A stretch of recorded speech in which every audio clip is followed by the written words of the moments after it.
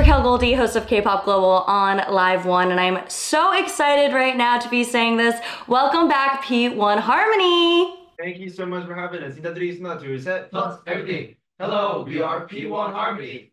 Now, by the time that you are watching this and everyone is seeing this, your new mini album, Sad Song, will be out for the world to hear. And personally, I have to say, I think you guys are coming off of your biggest year yet as a group. You've also been given a lot more creative direction with this new mini album. Was there a lot of pressure with this or, or how did this kind of make you feel and come together?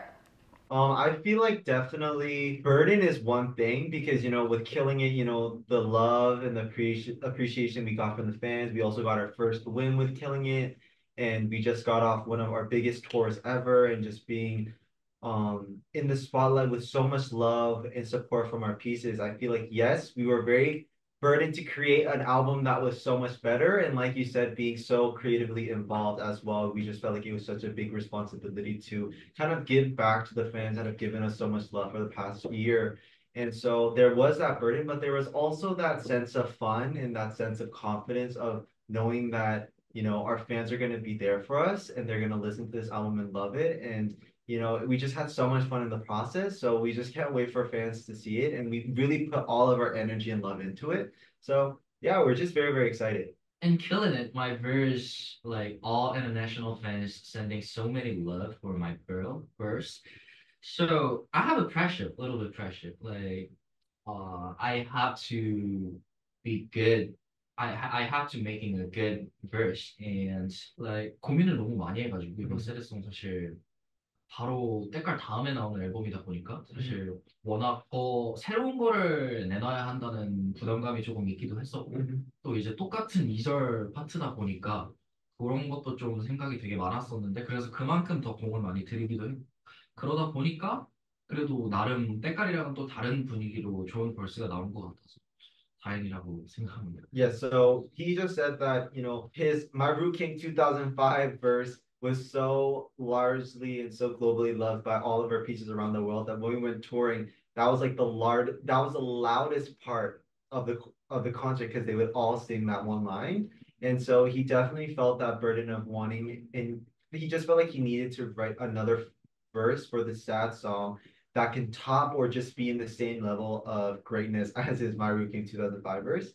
And so he did feel that burden, but because of that burden, he thinks that he worked so much more harder to you know write a verse that he's really satisfied with and he's really glad with the verse that came out that he wrote for sad song and he can't wait for the fans to hear this new side of him. Now sad song is a title track that was co-produced and co-written collectively by all of you. What was the process like of making that song and why did you feel like that should be the title track? Um you know P1 Harmony is always trying to expand their just our discography sonically, and we're always trying to expand it um, with the different genres you try to experiment experiment with. And I feel like Sad Song especially is a title song where the genre was so specific. And you know, we've never done a song where the genre was so specific that it was kind of a challenge for us and we didn't know how our voices would sound on top of the demo and the track. But we did a lot of working and we've done a lot of um a lot of practicing in order to kind of perfect it and also make it P1 harmony, right? So, you know, making it ours and kind of uh, understanding it in our own way was definitely a task, but we're really, really glad with the way that it turned out. And like you, like you asked, you know, a lot of our members were a part of the the writing process behind it too. So it just became so personal to us, and we just can't wait for our fans to see this new side of us that they've probably never seen before. I'm normally someone who sometimes the title track is not my favorite. I really am like a B-side girly a lot of the times, but I have to say this, this mini album, this title track, I'm loving it. I think it's one of my favorite actual title track releases of the year for K-pop. Yeah, I, I honestly, I listened to it so many times and I was like, whoa, this is it. Thank you. And you can hear too, you guys exploring your sound like you've said it. And I even noticed a little bit of like a Latin flair, Latin spice mm-hmm. in the song. So what Latin artists are you loving right now? Or have you like drawn inspiration from? You know, growing up, you know, Shakira was huge. Like, so let's start there. We got to give our our reps to Shakira, and I feel like also, you know, listening to a lot of music. You know, we love Rosalia, we love Bad Bunny. Um, when we were at Gov Ball, also Peso Pluma also performed at Gov Ball as well too. Um, you know, there's just so many amazing Latin artists right now that are out and you know striving and doing such great things. And you know, just being music lovers ourselves, we can't ignore that, right? And also, um, during our P1 year tour, we actually went to Latin America for the very first time and just being really able to go to those countries and being able to hear the music there and being able to indulge in the culture and the people and seeing our fans there also really gave us this huge awakening that like why not? You know what i mean? You know latin music is great and i think that's what just kind of drove us into trying um, something of that genre. What Latin artist would you want to collaborate with? I would say Rosalia. Yeah, Rosalia. Uh, 사실 그거 너무 너무 많이 들었고 어릴 때부터 되게 많이 좋아했었어가지고 멤버들이랑 얘기 되게 많이 한 아티스트고 그래서 너무 하게 되면 너무 행복하게 할 수 있을 것 같습니다. Mm. So Jiung says Rosalia, you know, he has been a huge fan of her for a very long time. You know, when Motomami first came out, we were like streaming it, listening to it a lot. So Jiung definitely says um Rosalia. I mean, for me, I think I'm really just open to anyone, not to sound like, please, like anyone call us, like that's what I'm trying to give off, but also at the same time, you know, we'd be honored to work with anyone from that genre. I think there's this special swag about Latin artists Right. and they have like this i don't know and there's just something so special about the language All right. and it's like i don't know there's just like so much things to take notes from you know? Mm-hmm. And so working with anyone would be amazing. You mentioned Govball. I have to ask you, Keeho, how was seeing SZA live? Finally, did your soul leave your body? i literally cried almost three times. But like i like the most randomest parts i like cried when supermodel started playing. I almost cried when garden started playing. And then when she came out to do 20 something i was like this is crazy. Like it's crazy. And i was singing my heart out. And it was just so much fun because I feel like, you know, when you grow up with a certain artist, there's this sense of nostalgia when you listen to their music because it takes you back to the time when you first listened to it.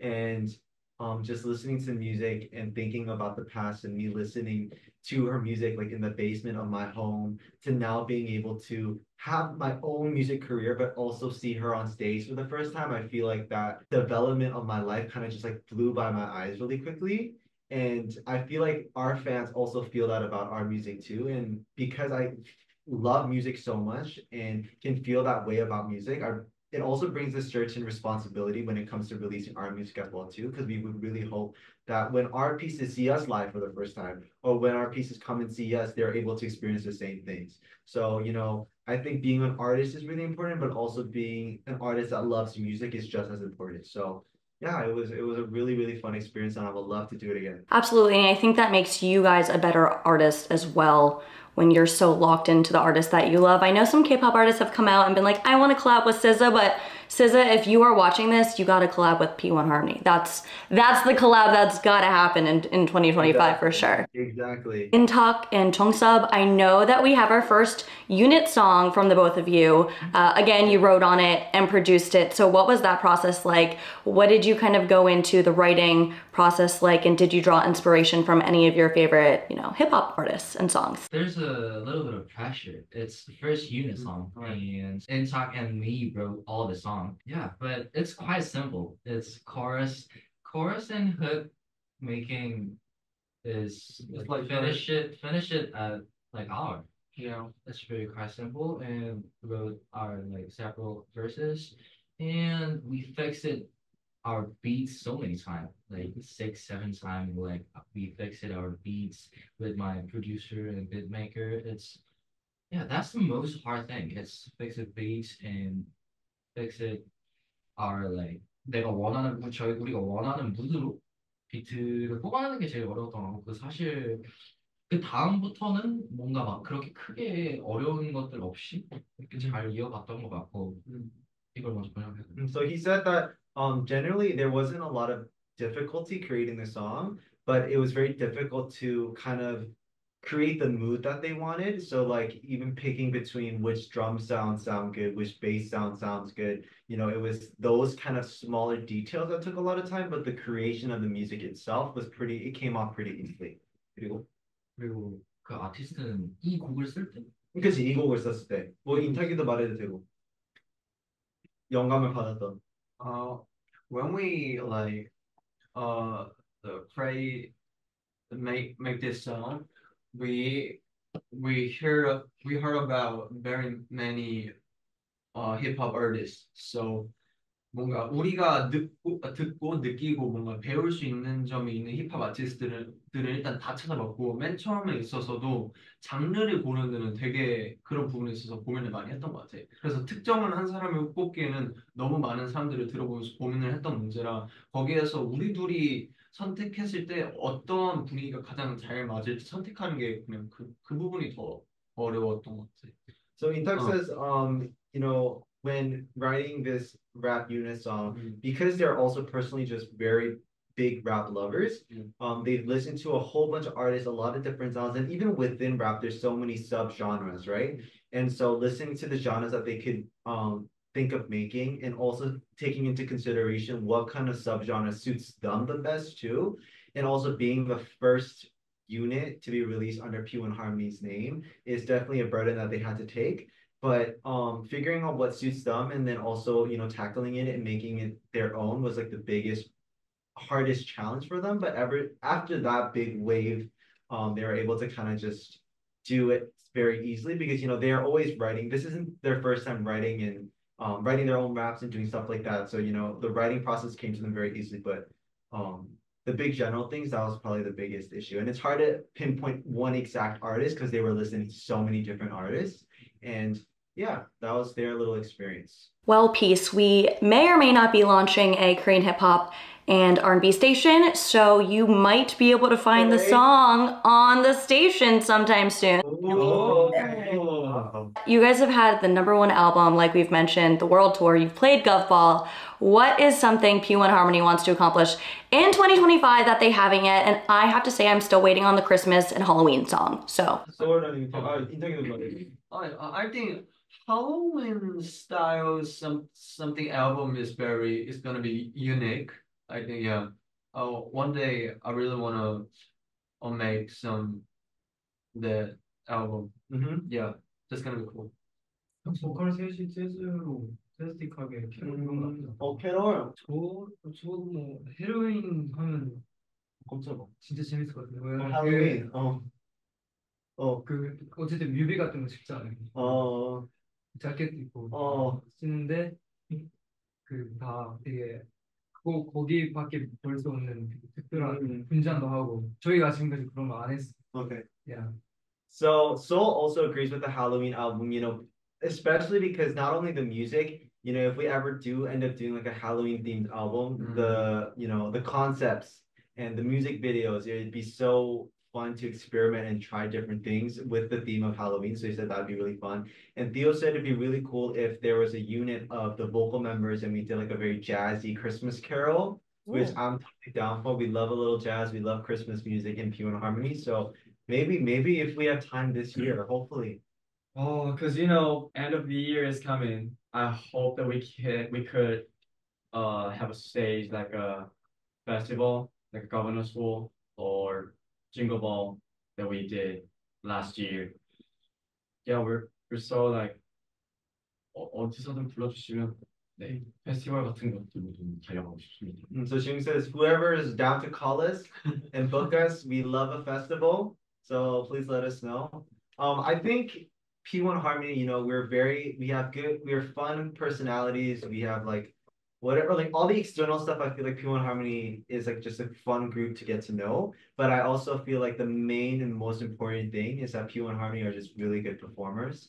And we love to be on stage and we love to perform. So like Jung said, um, especially in 2025, we would love to be able to have the chance to perform a lot of our new songs and just perform in general in big stages and be able to see our pieces all over the world.